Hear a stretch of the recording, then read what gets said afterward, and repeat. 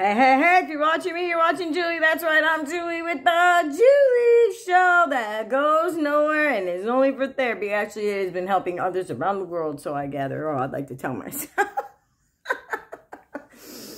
okay, I've been giving you some fairly ill advice about your dentures. Being though I'm a newbie, you all taking that advice from me all the time isn't probably the best bet. I just give you ideas, hints, and nudges and things that have worked for me. And I'm also going to come to you today with things that don't work for me. Now, since I've been using the powder, I've been noticing this like gritty feeling right up behind my front teeth, right where the curve starts.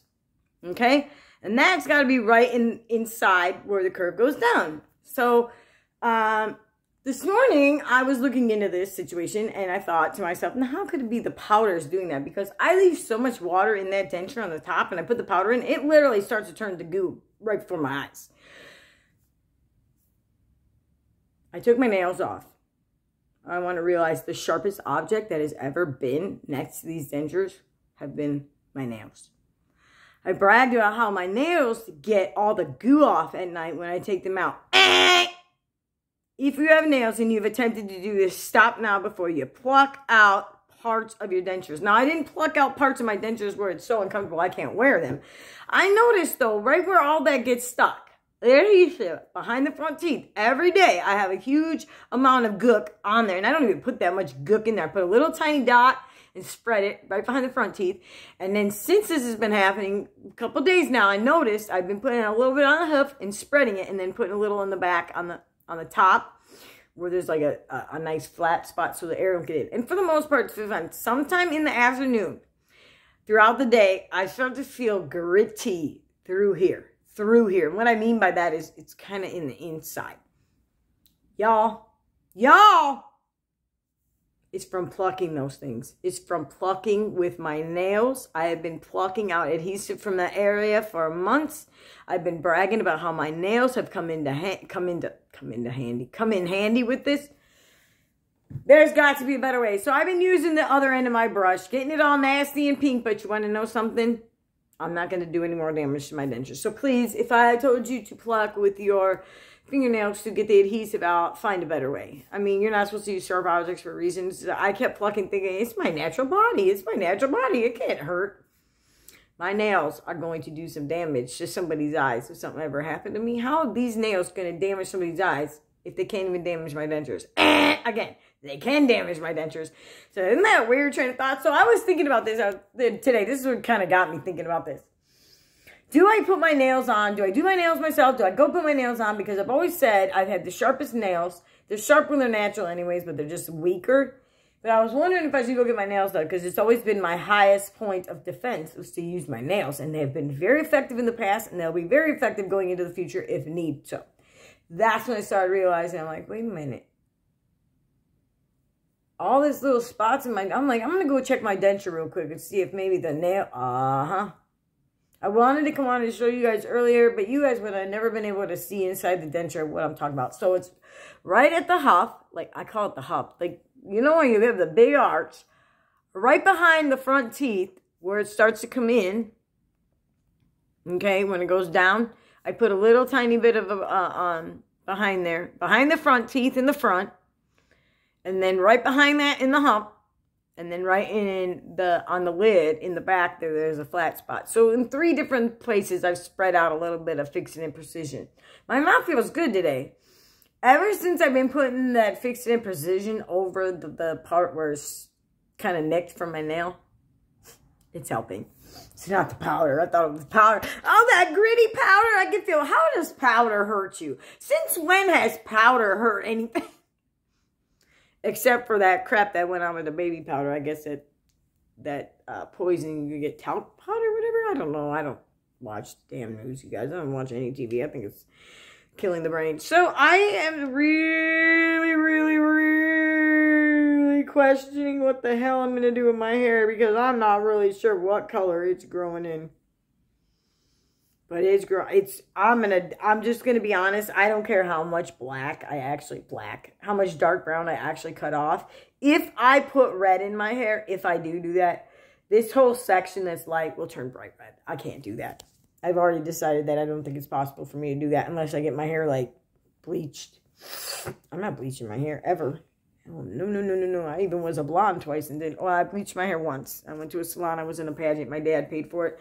I was a blonde and I did it myself and I kept highlighting my roots. And every time I did that, it turned golder and golder and golder. And this is before everyone knew about purple shampoo. I'm obviously I'm a brunette. I went white. Uh, when I was 15, um, I did it, and then again, that was my sophomore year of high school. Into the summer, I went blonde, and then um, I did it again my senior year, and it was like straw. And I will never ever do that again to my hair. I did start the process of going gray um, back in 2000.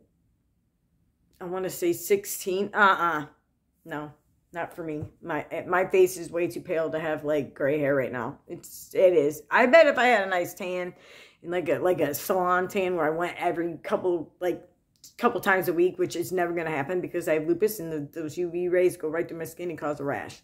So. Needless to say, the natural sun is my best friend in the summer. I use sunblock, and then I put on a self tanner, and then I put on another uh, Gradual Tan by Jergens. You know the one, Gradual Tan. It also firms and tones, but I also use a firming lotion from Nu Skin, and I also use Nu Skin's tanner, and that's by far the best tanner you're ever going to find on the market. $25. This bottle lasts me. I bought two bottles of it last summer, and I still have a full bottle. Let me show you what it looks like. So I want y'all to really, really, really think about this if you want to be tan. It's called Nu Skin Sunright Instaglow. It has a natural tint. It doesn't smell. It has a light smell, but it doesn't smell bad. It does not turn you orange. It doesn't streak. I put it on my face every other day. Today I skipped. Every other day I put it on. And then in the summer, I will do my full body. And then when I start getting tan from the natural sun, I'll just continue to wear sunblock and Jergens and then save the expensive stuff for when I need it. Make sense? Makes sense to me. Anyways, what else y'all want to know about dentures? What else you want to know about denture adventures for life? Um, I could keep on going, of course. We're going to keep doing this. And, of course, I want to bring in stuff like my tanning and my hair. God, a lot of you girls had mentioned something about my hair. There is a story behind this bouncy hair. It's called scalp care. Being almost 45 years old, I should have learned this a long time ago, which I did. I've been through so many different hair facades and so many different things with my hair. The thing is, I knew the cardinal rule that tint doesn't color tint. You can't lighten a dark, dark brown. The darkest shade of brown before you get to black with the with a red. Obviously, you've seen what that happened. And I, I did it anyways. Because I wanted to see if my natural hair would start growing out this color. Then I would go in and get it trimmed, probably within the next two weeks before Mother's Day. And cut off a little bit more than I normally would to get rid of some of this darker color. But I don't know what color it's coming in. Some minutes it looks like it's coming in darker. Some minutes it looks like it's coming in lighter. I don't know. But if it continues to do this, dark brown it is. I'm not, I'm not going through this yet. I'm not ready. I was like, I was debating on maybe not getting, never. I was debating on maybe not getting my hair cut short again and just letting it grow from this point. But I thought about it. I'm like, man, then I'm going to be stuck with all this dark color. Well, if I'm going to continue to dye my hair dark, it doesn't matter. Because what's nice is once you do have a set a good set um, color for your hair. Really, I mean, if you dye your hair every two to three months with the semi-permanent, you just have to go in three times and do your roots. You can do your roots up to three times. I've had to, I've been able to do my roots up to three times before I needed a full dye. So that's, that's six months or seven, eight months of just doing roots and then doing a full head of hair once a year. Get what I'm saying? So almost quarterly, you would do your hair and the, the roots. So four times a year, you do your roots, and once a year, you would do your whole head. And with this short of a hairstyle, the, the, the unhealthiness of the dryness of the dye, it's getting cut off faster than it can split ends. Okay, it, it's going quickly. But the story is, the reason I cut off my hair in the first place, I wore some beautiful hair. From the time I started tinting it with the gray, and then I stopped doing that in 2016 and I started to just let it grow from another short haircut I had in 2014 that was botched. I did never ever ever get trimmed. Um, my hair grew beautifully from 2016, 2017, 2018. My son graduated 2019. Look at this picture of my hair. Oh, you can't see it. Okay, here's the picture. See that? Behind that head of hair right there, behind that one strand are over 200 bobby pins holding up my hair. Over 200. There's me with my hair. There's me again with my hair. I also had different teeth. Hair was looking pretty red back then, and I think that I'm a natural redhead, but now that I've done this dark thing, either I have to cut off all the dark and just let this naturally grow in until I'm ready to dye it, or I gotta go dark again. But I'm just thinking, take advantage, Julie. I keep telling myself, take advantage of this short hair to grow out that brown if you truly are a redhead. I need some advice from you people. What do I do? I know it's not that big of a deal because my hair is only like six inches long. I tell people that all the time. My sister's like, don't dye your hair red. Don't do it. It won't dye it. It didn't. She was right. It didn't dye it red in the back. It dyed it red on the top. But the funny thing is, is my roots are coming in the same color. And all that matches my shirt. Isn't that amazing? Yeah. And as you can tell in that picture, um, from my son's graduation, I matched my dress. It was a mahogany. Girl do it. My girl did it mahogany. There's that one. That's my son. Graduation day. See how red my hair was? Okay, so this was May of 2019. 2019, right there on the shirt. Okay, red hair. The lady that does my hair, her son and her were at that graduation for my son. We're friends with them. And uh, I was fixing my son's sash and I caught somebody take a picture of her fixing my hair, which was really nice. She's into hair. So a couple months after my son graduated, I decide I want to go in and I want to go a little darker. I want to do away with the reds. It seems like I have to constantly keep coming in for root jobs. That's why I know my hair is not coming in dead red. It's coming in a little bit gray and red, which is making it really light.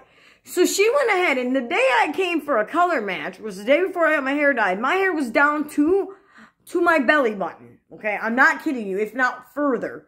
Beautiful. I had, hold on, I gotta hold this for a minute. Two ponytails in my hair holding up my bun this size. Two of them. I went in there and I said, look, Sarah, look at how much freaking hair I have. Oh my God. I'm like, I'm dying here. Look at all this hair. She's like, oh, I could thin it. I'm like, I don't want it thin. But I'm like, I just wanted to show her. I'm like, I don't know what happened. But I went dark. Yes, I was overprocessed that day. I never thought anything of it. I was put on some muscle, not muscle relaxers. I was put on some um, blood pressure medicine. And I thought that was making my hair fall. It was a combination of stress, the medicine, and being over, over um, processed. By the time of, I want to say August 2020, two, not even, not even a year. I would say one year exactly after I dyed my hair dark, I had lost half of it. Half of it. I went from wearing 200 bobby pins down to wearing 50. I shit you not. And it just got worse from there. I went in, I had her cut four inches off, hoping that I could like re regrow it back. Then I started vaping and it was falling out in mass quantities. My teeth were falling out. You guys, vaping is no good for you. I know I'm floating into conversation, but that's the story of my hair. So my hair literally did go from having a huge two largest rubber bands you can find in store for the very thick hair, wrapping up my hair in a bun, a huge ass bun on top of my head, to a fingertip style bun by a year later. This is all I could get from my bun. I, it was so long and I kept wrapping and wrapping it, but it just kept going up and up instead of wrapping around because it was so thin and fried. So I lost my hair. So she cut my hair and cut four inches off. That wasn't enough for me. And uh, well, that was, I want to say, end of summer 2020 in October, I went in and had it chopped off. I just wasn't satisfied. It's easier for me to do my hair this way. I can go to Chop Shots, get it trimmed. I don't have to pay for the precision cuts. I can dye my hair myself because it's only one box and it's only like this much hair. I'm thinking about going ahead and having her not cut layers in the back. So I could, this is why I was thinking about maybe cut, just letting my hair grow from here because it's starting to feel like this back is getting pretty long. the last thing I'm going to do is go get that all layered up again because when I do grow my hair out, I want it all in length. Because if you don't have it all in length and you're growing it out, sometimes it can look really bad. But sometimes if you don't have it tapered, it can look really bad. So what I was going to ever do when I get my haircut next, I'm going to tell her just to trim, as usual, half inch to three quarters of an inch, but not to touch the layer in the back, to just bring it up on length and then blend it in. We'll see how much she cuts off. If I'm going to tell her what I'm doing when I go in, I'm going to tell her that I'm trying to get rid of some of this darker hair without, you know, processing it and just lightening it up by cutting it off and using vitamin C. Well, that vitamin C was making my hair really dry. I know you guys gave me a lot of compliments on my hair the other day about it being bouncy. Those are from the products I use, and I'll show you what they are because I mentioned Launch. Launch is a pretty good, um, they got a pretty good program. My little light. I love these little lights. So let me show you what I'm using here so you guys can know. I'm, I'm going to get a light on. And then this will be the last of my video. I'm only doing this because you guys inquired about hair. So as far as shampoo and conditioning goes, I only shampoo and condition my hair in the shower about once a week, okay, in the shower. And I use Dove. I love Dove. I love the smell. Before I ever do anything um, with heat, with I use this is their glass hair thermal blowout primer. That's so I can blow dry my hair without it getting too frizzy. This is Rival Heat Shield from Launch. This works really well. Um, it's probably one of the best. It's it's a little bottle, but it's worth it. I get them all when they're $9. And then this is the thermal mask for heat and humidity because I live in Kansas City and it gets pretty humid here, so I bought that. Um, here's for my roots. You guys always think that I'm like fully colored. This right here dries out your hair though, and it gets on your hands if you don't let it dry and you put your fingers through it. I also want to show you a few more things I have this from Launch. This is their Sorbet Botanical Smoothing Balm. I put that in the ends of my hair. Oh, this is magical. I wasn't, I had this a year before I even opened it. And I thought, what was I waiting for? I put in a leave-in conditioner, just an Aussie leave-in conditioner when my hair is wet and has been washed. I also, oh, there's more, guys. Where's my little oil? Uh-oh. There. I use a mixture of tea tree oil and um almond oil. Yeah, sweet almond oil and tea tree oil mix for hair scalp. One little drop squirt in the palm of my hands and then I spread it on my fingertips and just put it on my root. I'm going to start using this Hair Revive Elixir by Sunstone, Earth Harbor Sunstone. Um, I got it in one of my boxes last year and I haven't used it yet because I just ran out of scalp treatment, so I'm going to do that. I also use this, very rarely do I use a, a, nourishing gloss or a nectar or serum in my hair because it's really gritty on your hands, you know, like leaves them kind of slimy. But these are the products I'm using every day. Um, and then this one here, be very careful. As you can see from these clear bottles, they look a lot alike. I sprayed this Miracle in my hair, and I thought it was Rival. This is a shine spray, and it is very, very potent. Lightweight conditioning shine spray. You only need to do like one or two sprays over your whole head, and you'll have bouncy hair. I think this right here, if there's anything that you would ever want to get and you want your hair to be bouncy and pretty, depending on where you live this, but this Miracle and the Miracle or however, Miracle, Miracle, I don't know how you say it, Miracle, whatever, so I'm going to say it, and then Rival. Or if you're not going to use all the expensive launch products, they're not that expensive, their $9 sale goes on a lot. Um, there's other stuff out there that you can use. I'm not dead, dead set on just using that. Um, I've also used um, John Frieda Frizz Ease. It's the secret weapon one. It costs about $10 in drugstores. It's a must-have. Oops, sorry, I dropped it. Didn't mean to be so loud. This is a must-have because this takes away all your flyaways. You can put it in your hair when it's wet. And you can also apply it with your fingertips to different strands that are driving you nuts. And I dropped it again. Guess I'm not doing too well today. I dropped everything. What else do I use? Okay. I forgot one of my favorites. Posh by Launch. This is a pomade hair polish. They, you use such a little amount. This is going to last forever. This I used a lot when I first got it. But now that I have the Mystique spray and the sorbet that I'm using, that was the sorbet. And I actually bought another sorbet. And I didn't even realize it came in the big bottle. came in the big bottle. So anyways, those are my hair things. That's what I do. I got my H2O bottle made and ready to go. Put H2O sign on it.